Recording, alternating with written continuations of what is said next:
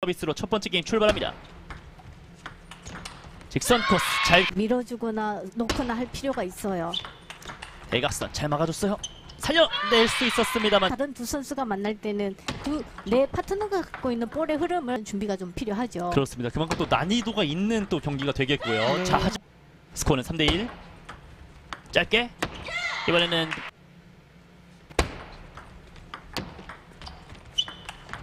강한 공격 직선 후사이도 공략이 좀 많이 나올 수 있죠.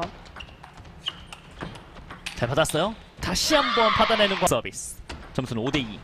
짧게 직선 코스 뽑 리시브를 좀 더 깊게 준다거나 변화를 좀 줘야 됩니다.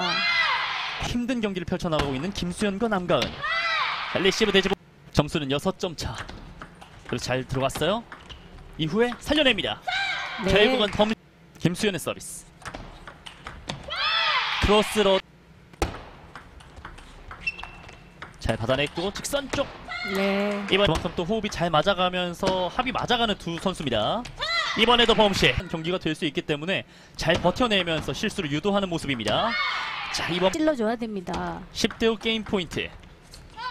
자 이번 자 이번에는 긴 서브로 쉬워지거든요.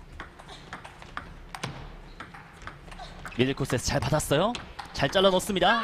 자 하지만 남감도 필요한 포항시 체육회 짧게. 자 이번에는 신민주 선수가 가야 하는 포항시 체육회 네트 맞고 들어와요.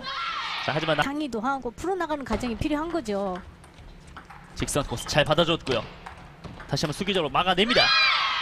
잘 버텨주고 있고 찬스를 좀더 어, 만들어가면 좋겠습니다. 자 이번에도 깁스 서비스 스코어는 3올입니다.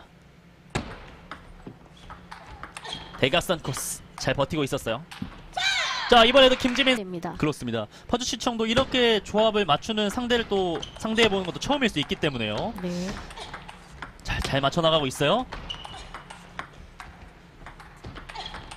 강한 푸시. 잘 받아내는 양 선수 마무리. 네. 김수현 서비스. 대각 코스 길게. 사용을 하고 있기 때문에 그 부분을 어, 예측하고 있어야 돼요. 자 이번에 아, 어, 실점하고 말았습니다. 그만큼 또 김지민 선수가 경기를 잘 풀어나갔다는 반증이죠. 네. 이번에도 김지 어, 효과가 또 있지는 못한 모습이에요. 네 맞습니다. 효과가 자 이번에도 낮은 코스 상대 실책이 나올 수 있습니다. 석점 차. 롱첩 깊은 코스 다시 한번 갑니다. 길어지는 랠리. 아, 자 남건 하거든요. 점수는 9 대 5.